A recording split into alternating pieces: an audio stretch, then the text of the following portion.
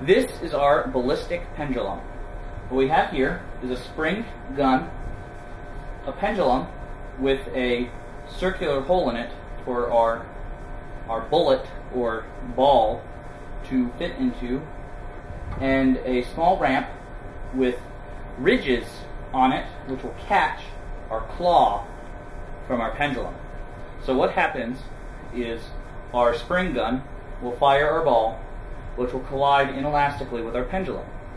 So the kinetic energy of the ball will be conserved and will be transferred into the pendulum. And just like with any pendulum, the maximum kinetic energy of the pendulum is at the very bottom of the pendulum's arc, which is where our pendulum is at rest.